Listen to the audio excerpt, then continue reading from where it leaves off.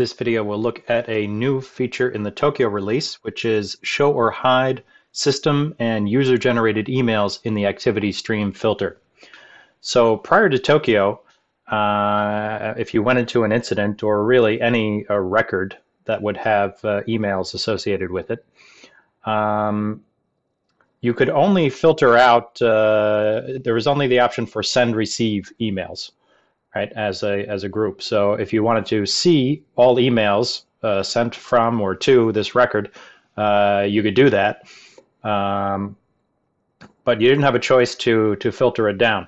So the problem I often ran into in the past was, well, uh, my users want to see emails, but only emails they sent or that were received from the uh, from the from the caller or from the end user uh, and they don't want to see all of the automatically generated uh, notification emails. Uh, but the problem was the activity uh, formatter was cluttered up with with all those emails, so it was hard to kind of get what was important. So that's changed now.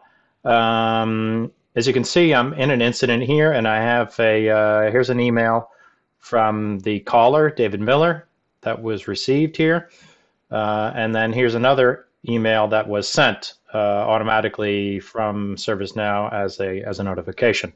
Uh, so these are both shown right now, but I can go into post types and I can uncheck uh, emails auto-generated. And that will hide all of my notification emails. So it gets rid of all that clutter and we can only see the actual correspondence emails. Likewise, if you want to, you can only check the uh, auto-generated and, uh, and see those. Uh, why you do that, I'm not sure, but uh, some folks, uh, it's always a use case. Uh, this works in the workspace as well as in the core UI. If you go here, you have the same options, emails, auto-generated, and emails uh, correspondence. So kudos to ServiceNow for fixing that or for enhancing that because that's something that always bothered me. And the product is much better as a result of this feature. Thanks.